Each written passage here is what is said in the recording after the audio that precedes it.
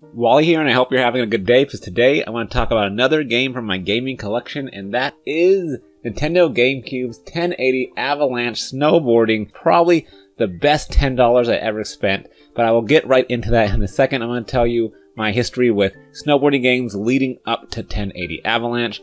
Now, growing up, I saw a lot of different snowboarding games, mainly for the Nintendo 64 and the PlayStation systems. N64, I think, had Snowboard Kids. There was Cool Borders on the PlayStation. I mean, I always wanted to play these type of games. I would see the kiosks at, say, Mervyn's or Sears or all these department stores that used to have video game kiosks randomly, Toys R Us, uh, and that alike. But I never, ever purchased a snowboarding game. I never rented a snowboarding game, but I thought they looked a lot of fun. And then into the PlayStation and Nintendo 64 eras, I did get to play a lot of Tony Hawk Pro Skater 1 and 2 specifically, and a bit of 3 went on the GameCube and the PlayStation 2. So once we hit that era, I started noticing games like SSX. That was EA's snowboarding game. I had a, uh, you know, the my best friend's brother liked to play SSX Tricky. I had a lot of high school, um, what's it called, uh, students that, uh, you know, at my school that played th- those games. But I I never got a chance to play those either. So I was like, man, I need to get my hands on a snowboarding game. I hear they're really good. Uh, I hear they're really awesome and I just wanted to dive in and doing tricks and speeding down, you know, these snow hills seemed really cool. So when 1080 Avalanche came out, I kind of had my eye on it because I heard good things about 1080 snowboarding for the Nintendo 64. This is made by Nintendo, so you know you have that awesome of quality. And what could go wrong? So when I saw this at as ten dollars in like a bargain bin at like Walmart or GameStop or something like that, I knew I had to pick it up. I couldn't pass up a $10 game.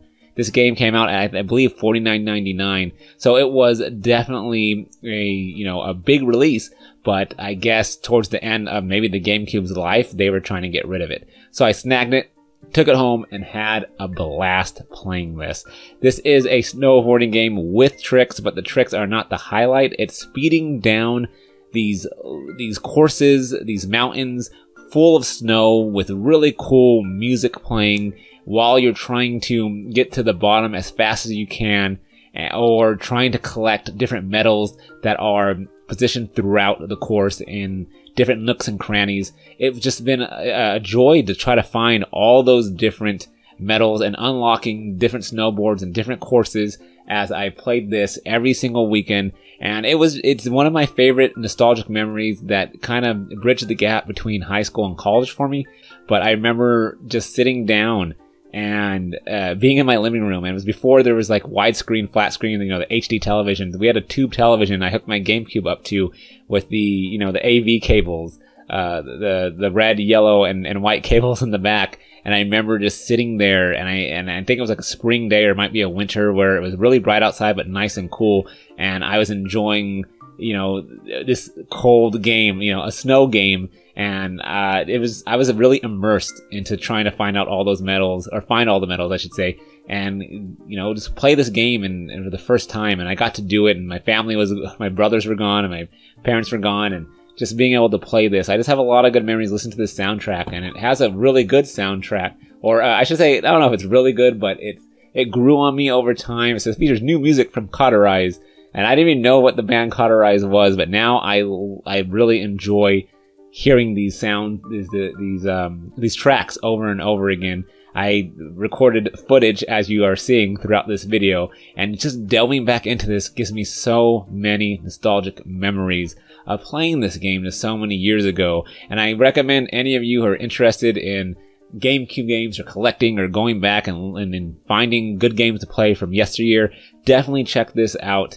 Uh, there may be better snowboarding games. There may be, you know, more robust snowboarding games, but I think what's in this is solid and to the point and just is a lot of fun. And I'm glad that I did not overlook this in that $10 bin because absolutely, this is one of my best $10 purchases I ever ever made, and I'm glad to have it in my collection. Let me know in the comments what you think about snowboarding games in general and 1080 Avalanche specifically for GameCube. I would love to hear your thoughts all about it. As always, thanks for watching another one of my gaming collection videos. Thanks for listening to me ramble, and I'll see you in the next video.